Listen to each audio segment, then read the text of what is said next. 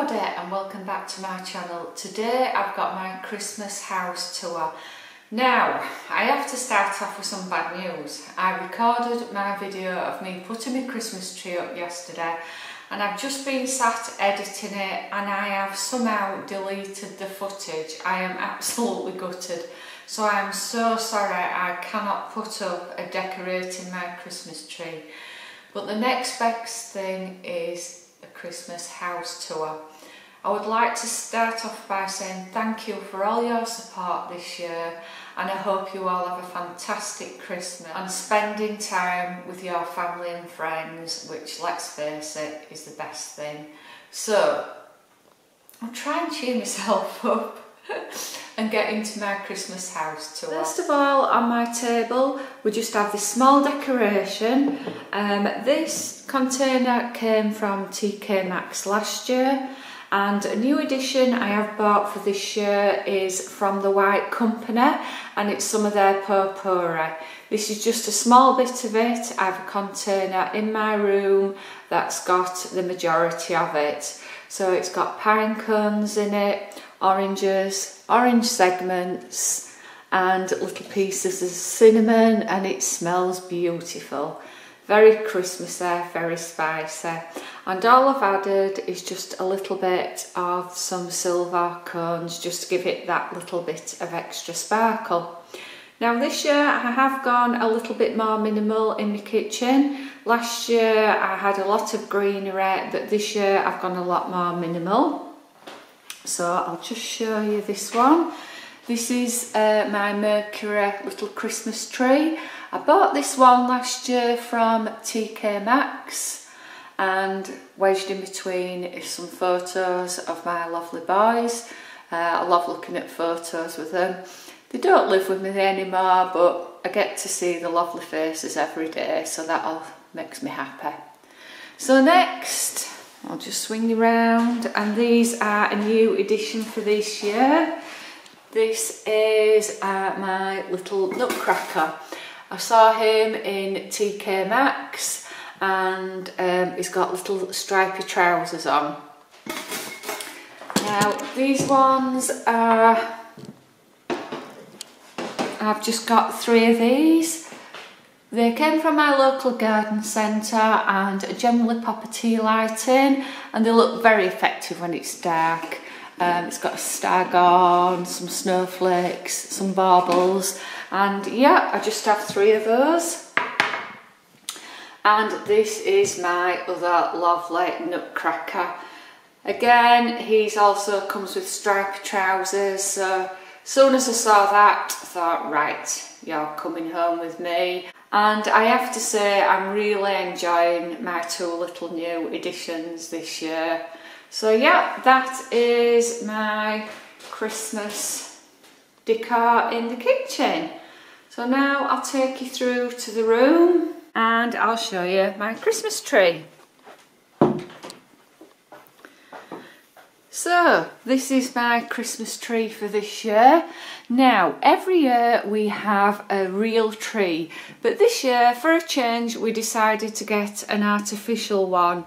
This one came from our local garden centre. It's a seven foot tree and it has a flocked finish on it and uh, I'll just quickly go through some of the uh, decorations on the tree. I have to say when I put it up yesterday um, I really felt that I'd made a mistake with it.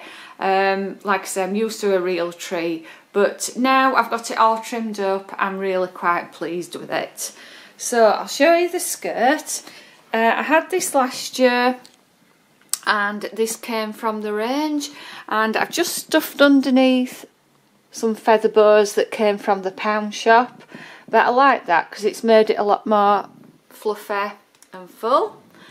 Um, these baubles also came from the range last year, the stripy ones and the little uh, fluffy snowball effect ones. These ones came from our garden centre last year and I love those, they really catch the light. This one I've had a good few years, that came from uh, again our local garden centre and inside I've just got some picks Um, I can't honestly remember where I got these from. Bought those last year as well. And I've just got a little church there that lights up but I don't put it on because the, the tree lights are cool white and that one's got quite a warm finish to it. Um, this is one of my favourites. This is also a garden centre one. I've had this, oh, I must have had it 10 years, this bauble, but I really like it. It's in the shape of an apple. And somewhere else on the tree, there should be a pear. Can't just, oh yes, it's down here. The pear's there. I really like that. They really catch the light. And these came last year the glass ones, there's one there and one there. You always get, when you get your uh, Christmas decorations out, there's always that one thing you've forgotten about and you're really pleased when you see it. And that was them this year, yeah, they came from Matalan. And then I've got the little birds on the top. They came from the garden centre last year. And a new addition on the tree for this year was the bow. That also came from a local garden centre, but I was really pleased it went on straight and it stopped straight, so yeah, I like that. Um, that one there, this Christmas tree, I've had that for, must have had that one 10 years, but I never get fed up with that one. So yeah, overall I am really pleased with my tree. The light is just starting to go currently, it's coming up to three o'clock so yeah. And then I've just got a little uh, parcel down there.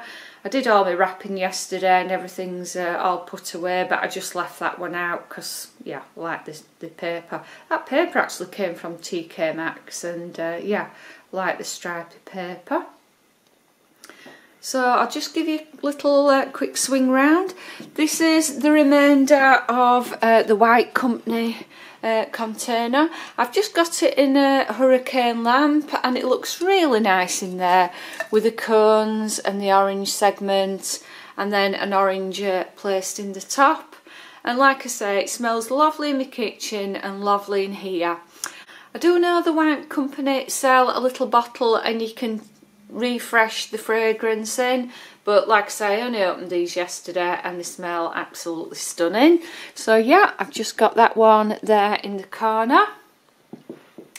Another one of my ornaments from last year is this one. This one came from Laura Ashley. It was very expensive I have to say um, but I absolutely love it. It looks so nice try and zoom it in a little bit for you.